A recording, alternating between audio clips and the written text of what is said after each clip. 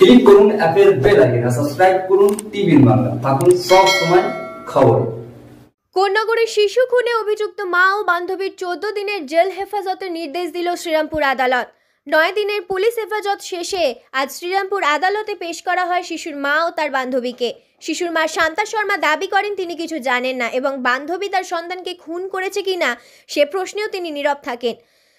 তবে পুলিশ সূত্রে খবর, থানা লকবে বান্ধবী ইফাত পারভিনকে সপাটে চর মারেন শান্তা শর্মা। কোন্নগর কানাইপুরে একটি দু কাঠা জমি কিনেছিলেন শান্তা এবং সেই জমি বিক্রি করে ফ্ল্যাট কিনে দুজনের থাকার পরিকল্পনা ছিল তাদের। স্বামী পঙ্কজের মাথার টাক পছন্দ ছিল না শান্তার। বান্ধবী ইফাতের সঙ্গে ঘনিষ্ঠ সম্পর্কে বাধা হচ্ছিল তার সন্তান। স্বামী ও শ্বশুরবাড়ির লোককে শিক্ষা দিতে গিয়ে সন্তানকে খুনের পরিকল্পনা করে মা, এমনটাই মনে করছেন তদন্তকারীরা। দাঁড়ো দাঁড়ো দাঁড়ো দাঁড়ো মারলেন কেন? মারলেন কেন বাচ্চা মারলেন কেন? ফাঁসানো হচ্ছে আপনাদের? আমি নিজেই খেলতে আসছি আপনি বাচ্চা কি মারে? হ্যাঁ? কে মারলো? মেরেছে? করেছি কিন্তু এই তো নেই। থ্রি জিরো কন্ডিশন সোমবার মতো এটা হোক আমরা এরপর আপার ফোরামে যাব। আমার সাবমিশন আমি কোর্টে রেখেছি সাবজুডিস ম্যাটার দেখা যাক কী হয়। ফোরাম কি মনে হচ্ছে? পুলিশ কি সেভাবে এভিডেন্স জমা দিতে না পেরেছে? পুলিশে পাবলিক প্রসিকিউটার কাছে কোনো সেরকম কোনো এভিডেন্সই নেই। পাবলিক প্রসিকিউটর আমরা যে যে প্রশ্নগুলো করেছি সেই প্রশ্নের কোনো সঠিক উত্তরই তারা দিতে পারে। কোনো উত্তরই তারা দেয় না।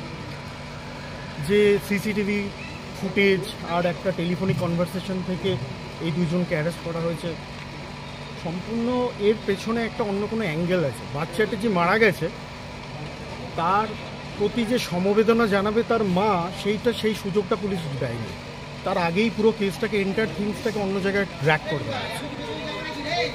আপনার নাম? সৈকত মণ্ডল একদম সৈকত মণ্ডল। এই কেসে যিনি ডিফেক্ট কমপ্লেন্ট আছেন পঙ্কজজি তার হয়ে আমি কোর্টে অ্যাপিয়ার করলাম। এবং তদন্তকারী অফিসার যিনি রাহুলবাবু আছেন তার সমস্ত কাগজপত্র আমাদের পিপি সাহেব যিনি আছেন, তার কাছ থেকে জানলাম। তদন্ত অত্যন্ত ভালো করছেন এবং তদন্ত রাইট অ্যাঙ্গেলে যাচ্ছে। এবং উনি যেভাবে খাটছেন প্রত্যেকটা ব্যাপারে, যে আজ থেকে দু বছর পুরনো কল রেকর্ড তারপরে during the course of PC period একটা রুমাল পেয়েছেন উনি রক্তমাখা। আনুষাঙ্গিক আরও অনেক জিনিস উনি সিজ করেছেন। তো তাতে আমার মনের মধ্যে একটা বিশ্বাস এসছে যে সাধারণভাবে যেভাবে তদন্তকারী অফিসাররা তদন্ত করেন আউএডেস তার জায়গায় রাহুলবাবু যেভাবে তদন্ত করছেন আমি মনে করি খুব সাইন্টিফিক তদন্ত করছেন উনি এবং এই কেসে কনভিকশন হবে আমি মনে করি একদম রাইটলি যেভাবে উনি তদন্ত করছেন। আমার নাম অরুণ কুমার আগরওয়ালা। এখনও পর্যন্ত একুশ তারিখে ফার্স্ট প্রোডাকশন করা হয়েছিল এদের দুজনকে শান্তা শর্মা এবং ইফাত পারভিনকে। এবং লার্নেট কোর্টের কাছে প্রেয়ার করা হয়েছিল যে দশ দিনের জন্য পুলিশ কাস্টডি এবং লার্নেট কোর্ট সমস্ত কিছু এভিডেন্স এবং গুরুত্ব কেসের কনসিডার করে দিনের জন্য পুলিশ কাস্টডি দিয়েছে। এবং আজকে পুলিশ কাস্টডি থেকে আজকে প্রোডাকশন হয়েছে।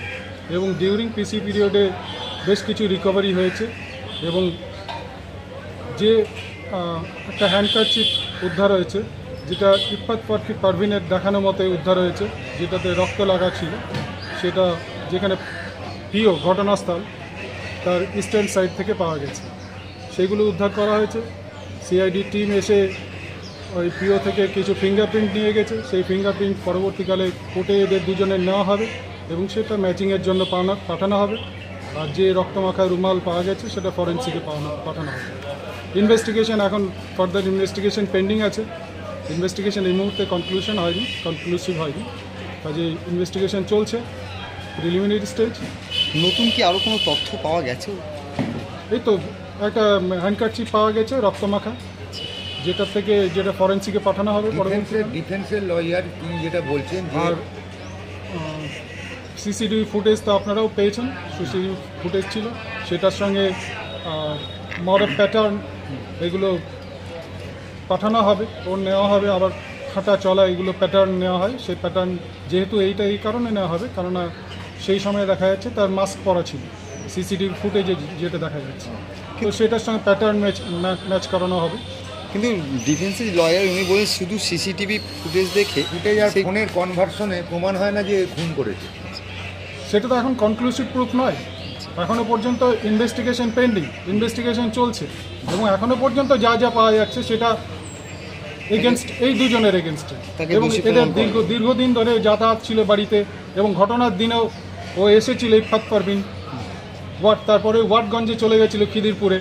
মানে এখনও যা প্রমাণ রয়েছে পর্যন্ত যা প্রমাণ তথ্য প্রমাণ আছে তাতে এদের এগেনস্টেই অঙ্গুলি নির্দেশ করছে। আপনার নাম? সুদীপ সরকার। আর বান্ধবী ইফাতকে দিয়ে সেই পরিকল্পনার রূপ দেন তিনি। তবে শিশু খুনে যে নৃশংসতা দেখা গেছে তাতেই হয়তো প্রিয় বান্ধবীর প্রতি বিরক্ত শান্তা। লকআপে তার আচরণে এমনই মনে হয়েছে তদন্তকারীদের। কোন্নগর আদর্শ নগরের পঙ্কজ ও শান্তা শর্মার আট বছরের শ্রেয়াংশকে নৃশংসভাবে খুন করা হয় গত ষোলোই ফেব্রুয়ারি। সেদিন বাড়িতে কেউ ছিল না। টিভি দেখছিল শ্রেয়াংশ। মাথায় থান ইট দিয়ে আঘাত করে, মূর্তি দিয়ে মেরে, ছুরি দিয়ে ক্ষত বিক্ষত করে নৃশংসভাবে খুন করা হয় শ্রেয়াংশকে। ঘটনার চার দিন পর গ্রেপ্তার করা হয় শিশুর মা এবং তার বান্ধবীকে।